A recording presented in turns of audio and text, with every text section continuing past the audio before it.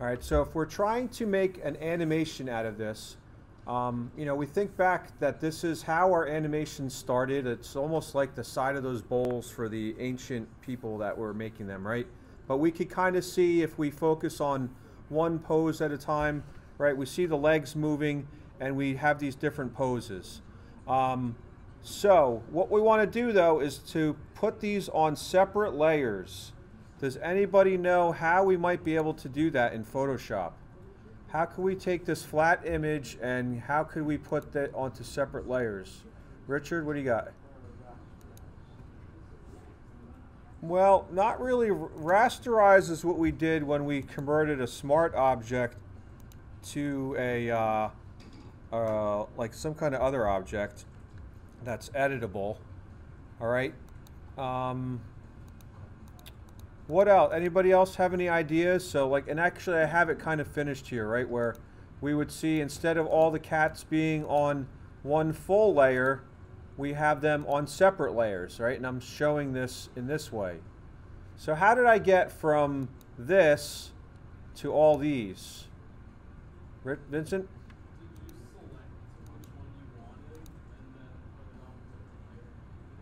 Yeah, uh, you're very close. All right, so how can we put it on its own layer? You could, you could copy and paste. I'm going to show you a quick way to do it. All right, and if you chose this one, this one's a little more difficult too. Oh, and uh, you probably want to remove the background also, so that in like Animate we can put in our own background. All right, so with any of these, and let me backtrack before the layers, I would want to unlock my background layer, then use maybe my magic wand. I always start with the tool that can do the heavier lifting, right? And maybe the less clicks. So if I use the magic wand, it does select all that white around there, and then I can press delete. It lost a little of this guy and, and that in there though. So maybe I can go back and use the quick selection. I mean, it's not really critical if you have that to be like somewhat transparent for this. Questions?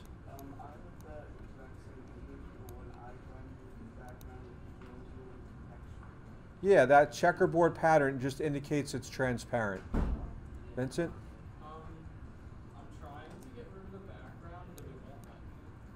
Uh, your layer uh, may be locked, as I was saying. So click, find your layer palette, and um, uncheck the lock button.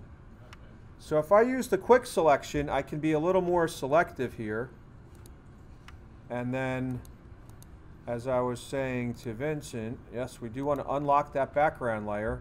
And now I can delete. And I can then start going in here and getting rid of the rest of this stuff. So I'm just going to do it a little at a time because I know that magic wand got too much. So I'm just going to use like the quick selection tool in here. And that does a little bit, doesn't kind of select as much. I'm using the, if you press and hold the magic wand tool, the, uh, the middle option is your quick selection tool. Right? Do you have the magic wand on your toolbar? And you, can you press and hold it? Does it give you any options? All right. All right, so this would be, though, kind of working with this. And let me just show one more step before I come around here. So we'd remove the background and then um, you can use a couple tools to select the individual poses. Um, the marquee or the lasso tools are very helpful with this one because the, uh, the, the poses overlap. The one with the cat, I could have done a lot easier by just using this marquee tool because they're not overlapping. I can just select it and what we're going to do, no matter how you select, is right click and say layer via copy. So that puts, and makes a new layer from what you had selected in there. With this one, I'm going to use the marquee tool. All right, you can use the regular marquee and just kind of draw a box, or this isn't a box, obviously. It's a selection area. If your hand is a little shaky, I'll show you another one in there, but that would be the case here. Right click, layer via copy. All right, and we can see that now that layer is just that pose. Now very important, as you go on to your next selection, you always have to go back to the original layer. Because let's just imagine, right? Well, actually we have this on. If I have my layer, my next layer selected, and this was the other tool you maybe want to use the polygonal lasso. If your hand's a little shaky and you can't get a good line, I'm clicking and I'm letting go. And I can make more of a kind of angular lines. And it, I don't have to be super precise because our background's transparent. We're not going to see any of that anyway. All right, but I can go around here and do it that way. Now, when I do layer via copy, why did that work? Did I have... That shouldn't have worked. Yeah, there's nothing on there. So really, it normally there's an error message, right? Because if I'm on layer 1, the second pose isn't in that layer. However, it is in my bottom layer. So that's why it's really important to come back here. And even though I didn't get an error message, I do want to select the layer that actually has that image into it. All right, and now I can go in here, and if I reselect, and now I'm using again the uh, polygonal mark or lasso tool. Yeah, one of the lasso tools, because they're since they're overlapping, if you used like the the rectangular marquee, uh, you would have parts of one pose with the other one. All right, but once I get around it, now I'm going to do right-click, layer via copy. And now I can see that I have, if I turn off my composite layer, right, using that same vocabulary we just talked about, it's the combination, right? So that's, now I can see I have one pose on that layer, another pose on that layer. All right, so I'll come around and troubleshoot and see, make sure everybody's caught up, but that's what you should be doing right now is making as many layers as you have poses. All right, so once we get to launching the software, we have kind of our normal start screen uh, asking us if we want to use any presets and that sort of thing. All right, um, as you can see, there's some presets for character animation, social, you know, gaming. But really, if you were to look at all these different presets, what are what's changing in these presets? Think about even our other programs. It's really not that much different. What did we see different between our presets in Photoshop or, or even Premiere? They're what? Well, it's not, it could be for video or print or animation. What's changing is your width and your height. All right, if we look at all these, they're really, it's just a change in your width and height. I'm going to go to character animation because that's like what we're doing, even though it's a very basic form of it. And then I'll choose full HD and look at that. Look at those numbers. 1920 and 1080. Where have we seen those? Yeah. And we did that for Premiere, right? If we looked at our sequence settings, it was the same frame size. What is this measuring, the 1920 by 1080? We're going to use this full HD and just make sure on the bottom that you have ActionScript 3.0. It should be there kind of when we choose that preset. Um, if you use HTML5, they're kind of more compatible with uh, being posted online, but you're not going to be able to create the same type of animation. So make sure that you have that ActionScript 3.0 as the platform type down here. All right, then we're going to do a create. All right, so a quick description. Uh, we see a, lot of similarities, right? We have our, our stage as we were talking about. We do have a toolbar. You can see there's kind of a combination of Illustrator and Photoshop in here, but it is kind of limited. You have a selection tool, transform, the lasso, some brushes, the eraser, shapes, pen, text, paint bucket, um, eyedropper, and the hand tool. So it's kind of limited in the toolbar. We do have a timeline, but now we're in frame base, all right? Our time code is not going to be hours, minutes, seconds. uh, like we had in Photoshop or Premiere because we are in animation the frames are very uh, specific and detailed and we need to manipulate them. Um, and then we have our panels all right? So a lot of similarities. Um, to get our Photoshop file in here we're going to say file import. And where do we say we want to go to the library or stage uh, the stage, I, I think I said we want to do the library because if you delete from the stage, then you have to re-import it again. So we want to import from the library. All right, so if, if you're having an issue, it doesn't see your Photoshop file, down here you have like a filter. So make sure it's on all files, and then we can go in here and I'm going to choose my cat poses PSD file. And they give you an option here. Um, I guess you could have extra layers, and they, uh, but you could select what you have in there. We're going to select all them. All right.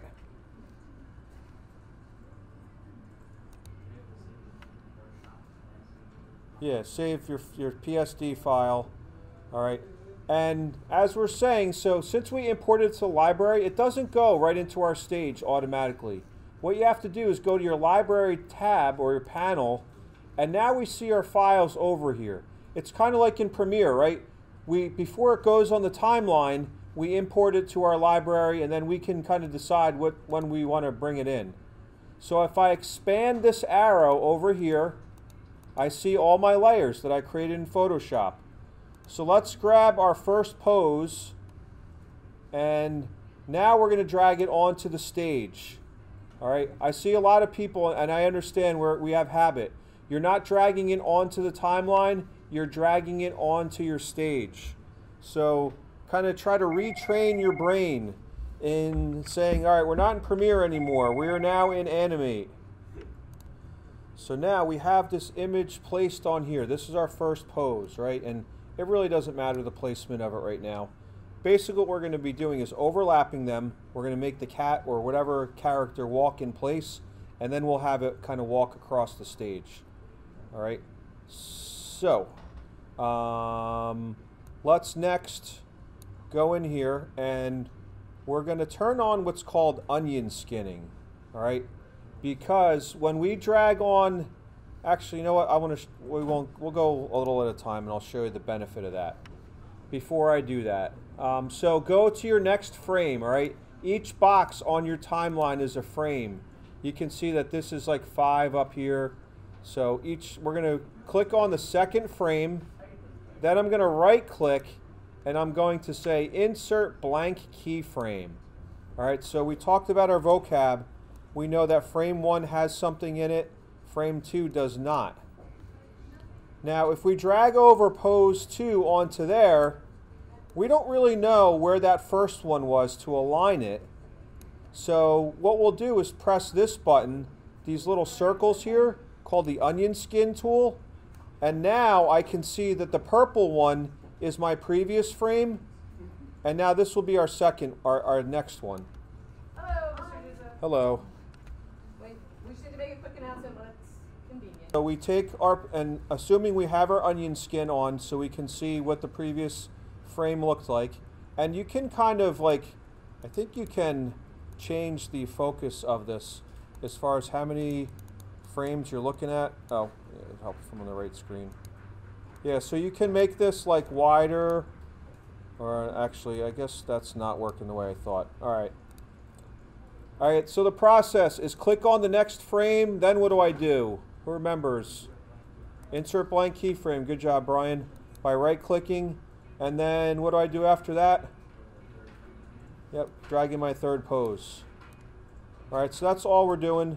We're just inserting keyframes, blank keyframes rather, and then dragging our artwork over into that. And that's what turns that circle to here's you guys' food that empty to full. Anybody? All right, I know, yes, we do have some people who ordered. Okay, thank you. Here, which one do you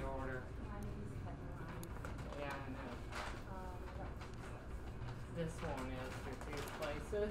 Thank you. Then that's his. Thank you.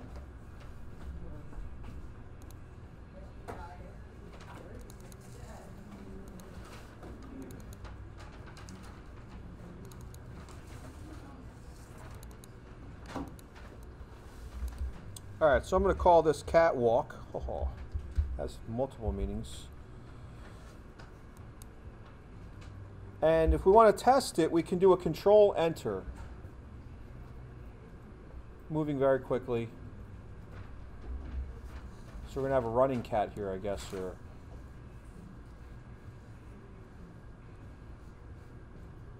to slow this down, right? What would we want to do? Like, think about it conceptually. How would we slow this down, Vincent?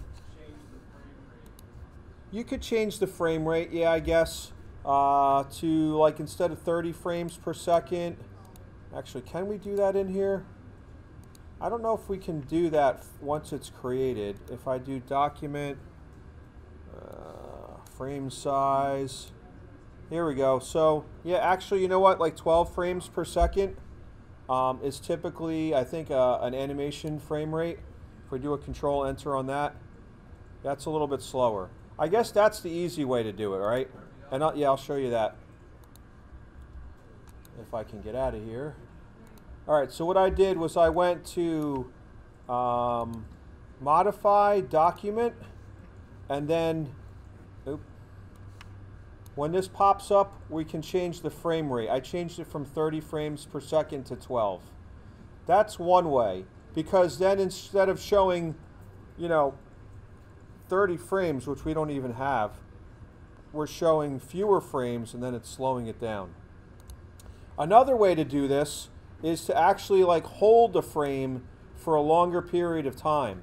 So if I select my second through fifth frame by selecting the first one hold the shift key and select the last one, I can just move this over so that now it's holding frame one for four frames. All right, then I can select the last three, move that over maybe to 10. Select the last two, move that over to 15. And then the last one over to 20. Now, the only thing, what would be awkward about that?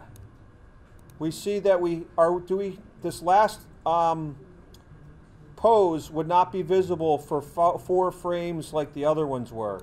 So the other option we can do here is go to frame 24 and we can insert a frame. So that's going to basically hold that. All right, so this should be a really slow walk now because I slowed down the frame rate. Yeah, that's like too, too slow now, right? So I could go back to my modify Usually you have better like kind of clarity at a higher frame rate. So I kind of get that same effect though doing that. All right. So now we have this cat walking in place, right? Based on a series of five pictures. And that was control enter to uh, test this video out. All right. So let me test one thing out to make the cat walk across the screen, we could just move our poses, right? I guess that would have been another way to do this. So we'll show, I'll show a couple ways of doing this.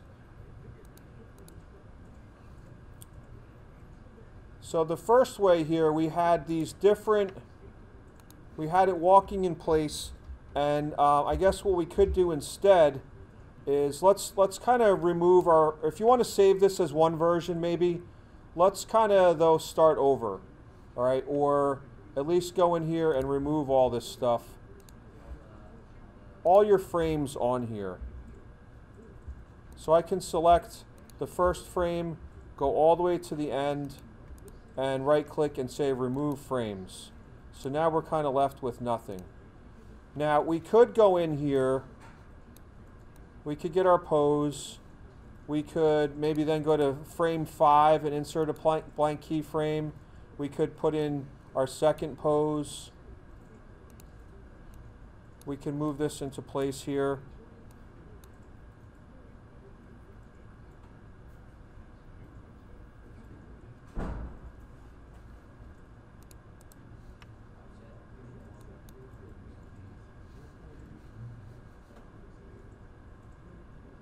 time. So this time, instead of having the, the frames overlapping and, and in one place, we're going to just now go to like frame intervals of five. So I went to frame um, five and I inserted a blank keyframe So I'm just going to back up here now that I have my thoughts collected. So I'm going to go, instead of choosing frame two, we'll do frame five, do a blank keyframe, and then I'm just going to bring the pose two in there. All right, so we can still kind of get some alignment going with that. I'll go to frame 10. I'll insert a blank keyframe, put in pose 3. Go to frame 15, insert a blank keyframe, put in pose 4.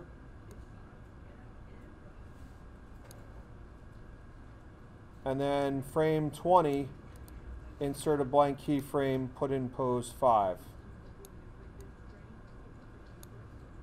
Now, I can't really see, so this kind of went off the screen a little bit. Do I have room?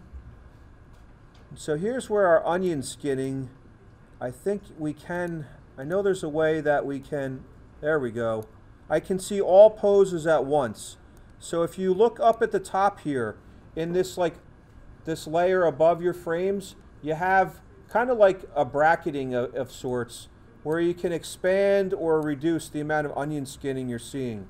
So I think my first pose, yeah, was too far to the left. So try to like spread them out so you can see them a little bit better. Uh, and we don't have anything cut off.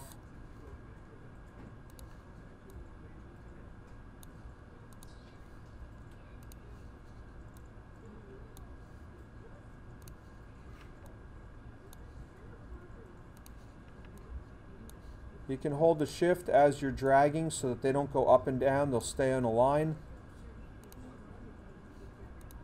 So all we did there was instead of putting our keyframes on, on you know, each successive frame, like one, two, three, four, five, we did multiples of five. And instead of them overlapping, we put them next to each other. So now we have the effect that it's walking across. Now this is still not very smooth though, right? It's still, there's gaps in there and it's maybe too quick.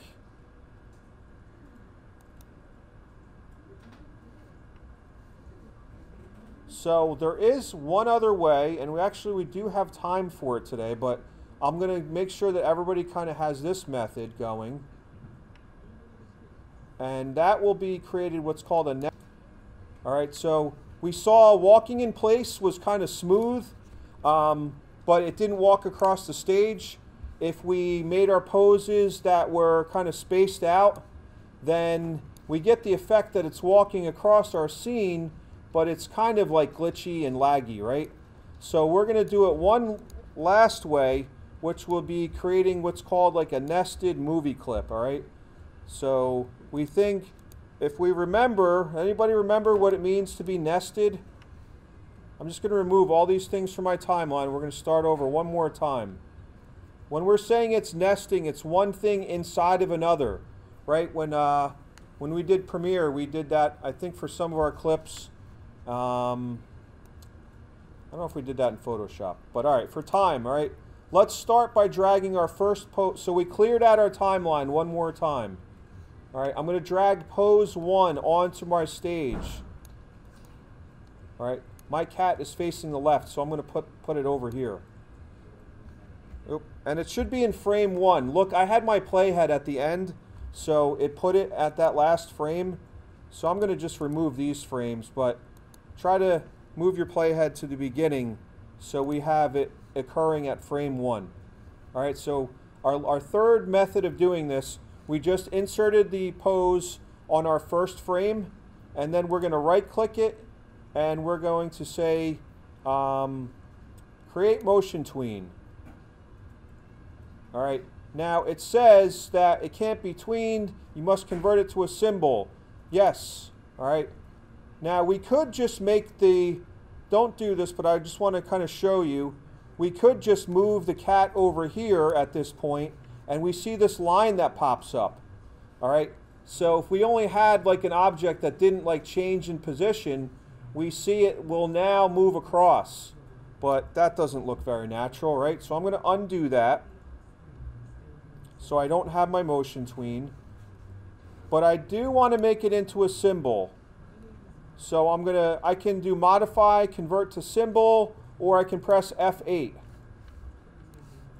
All right, and I'm gonna call this like walking.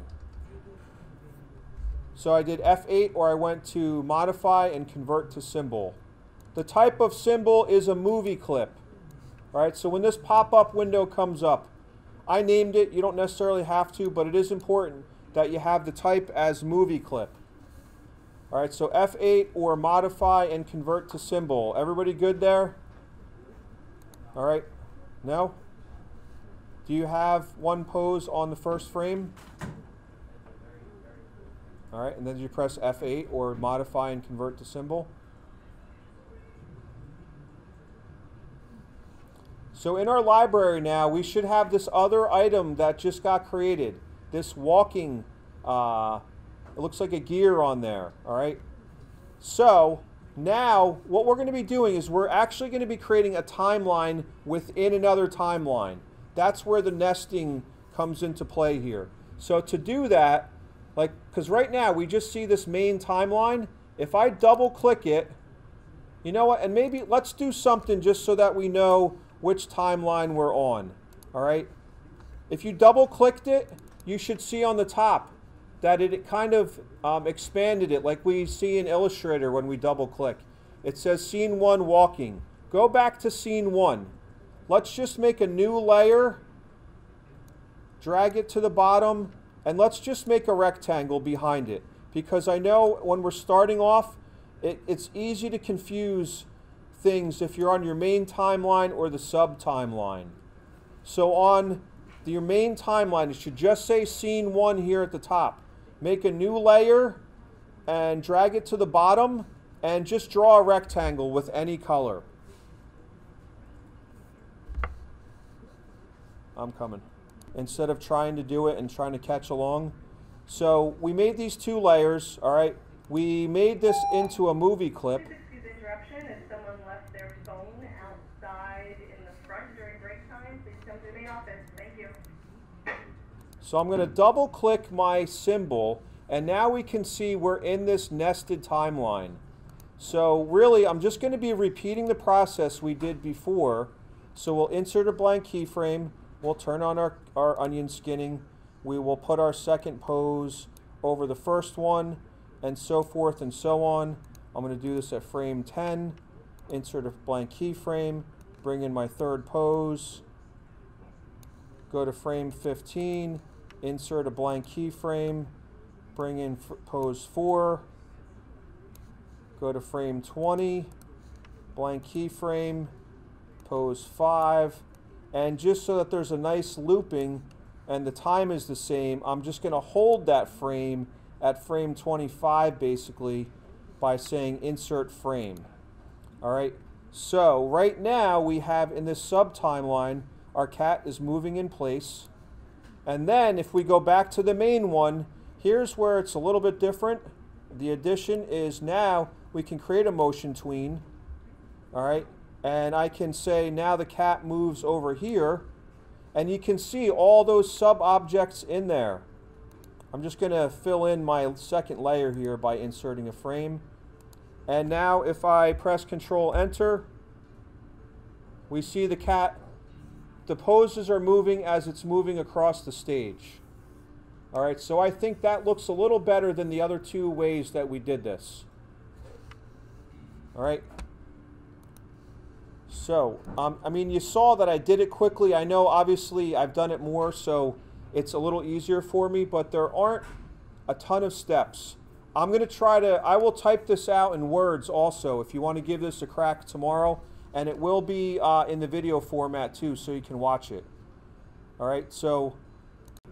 All right, the last part of our animation will be to export it to a video.